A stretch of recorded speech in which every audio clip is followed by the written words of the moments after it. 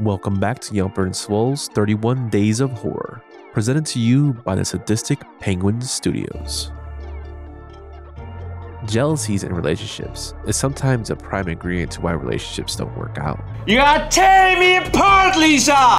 Today's film takes it to a whole nother level. We're talking about the 1999 Japanese horror film, Audition.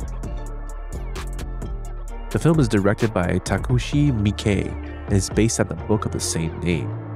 It stars Ryo Ishibashi as Shinoharu and Eihi Shiina as Asami.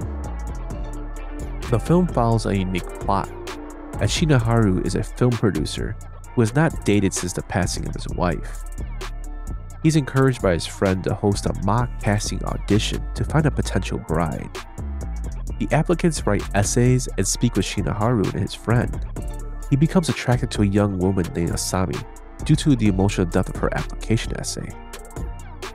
He tries to contact her references, and even when they don't check out, he still's enamored by her and decides to take her to a hotel and plans to propose.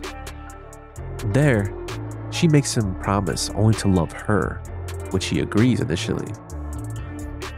Later in the film, she finds a picture of his deceased wife and becomes enraged. This is where the film goes off its rocker. What the fuck is this? She poisons him, and when he passes out, she ties him to the floor and then injects him with a substance that paralyzes him but allows him to feel everything.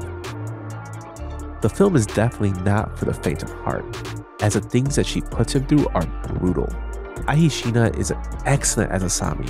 She can be both meek and downright terrifying. The scene where she's sitting at the phone waiting for a callback from her audition is both creepy and psychotic, as she has been sitting there for four days. Takashi Miike is known for his brutal style of storytelling, and he doesn't hold back with this one. This film, although brutal, still ranks very highly on a lot of horror fans' great horror film lists and has gathered critical acclaim. It's become a cult classic, and when you're talking about international horror, this is one of the movies that's always recommended. If you dare to take the plunge, check this one out. Well, now that is some fucked up shit. Well, it's Halloween, and we have done 31 horror videos in 31 days. I try to sprinkle films that are not commonly discussed among casual horror fans to hopefully pique your interest, and hopefully I did. This was a lot of work, but totally worth it because I'm a huge fan of Halloween.